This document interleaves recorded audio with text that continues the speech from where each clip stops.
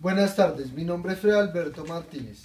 En el día de hoy vengo a exponerles sobre el, el biodiesel en automóviles.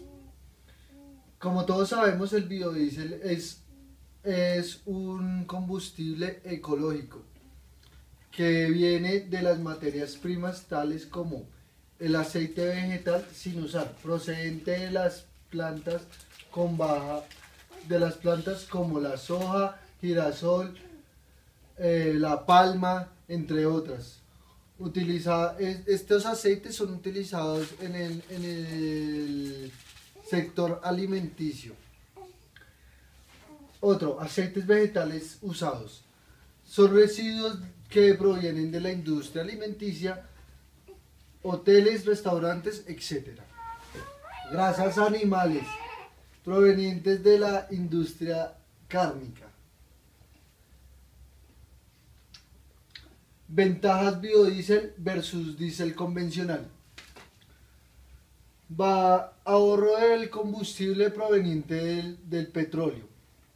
Desarrollo agrícola. Este permite a la sociedad tener una fuente de empleo adicional y aprovechar terrenos que en algunos casos no se pueden usar para otros cultivos, ya, ya sea por sus condiciones geológicas o, o res, restricciones políticas.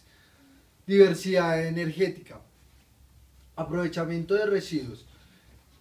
Este tiene dos puntos, tales como, primero, reducción de costos por tratamiento o evacuación de residuos. Dos, minimiza costos relacionados con la contaminación ambiental. Mayor poder lubricante. Se disminuye la necesidad de incluir aditivos reduce, reduce del monóxido de carbono, hidrocarburos sin quemar o parcial, sin quema o parcialmente quemados, sin quemar o parcialmente quemados. Eh, y núcleos de hollín. Esto gracias a la presencia de oxígenos en la molécula del biodiesel. Emisiones neta del CO2. El CO2 emitido por el motor se contrarresta durante el crecimiento del cultivo agrícola del procedente a través de la fijación por fotosíntesis. Es más seguro de transportar y de almacenar, ya que no, ya que tiene menos, mm, es menos inflamable. No contiene azufre, no genera dióxido de azufre. Siguiente.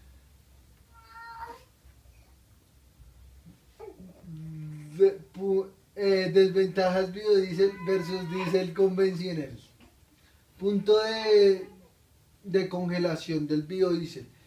Se congela a una temperatura del 0, 0 grados centígrados y menos 5 grados centígrados.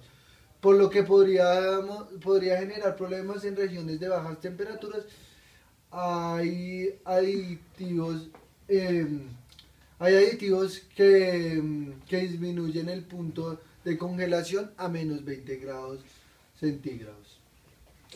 Menor contenido energético. Presenta una ligera pérdida de potencia ya que tiene menor poder calorífico por lo cual aumenta su consumo.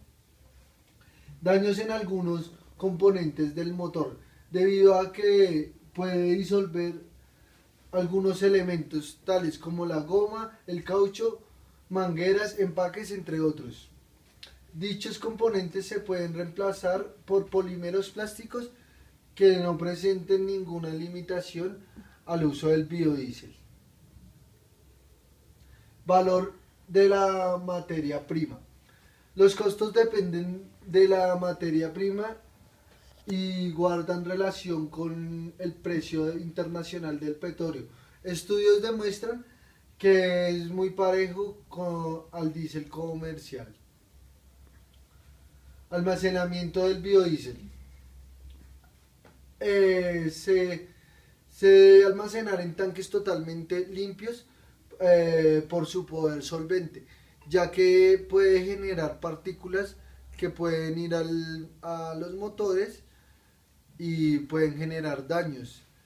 En Colombia no es, no, no se pueden hacer esto, no se puede en los tanques que hay en, la- en las bombas son muy contaminados y no se puede generar estos, este combustible.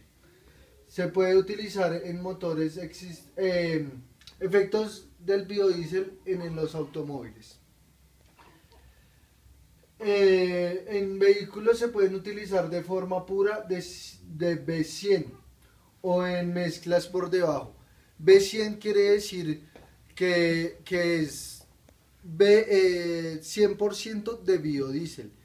Hay mezclas por debajo que son B50, B30, B20, que quiere decir el porcentaje que tiene de biodiesel con el diésel conve- convencional que es bio, bio eh, por ejemplo, el B20 tiene 20% de biodiesel y 80% de diésel convencional.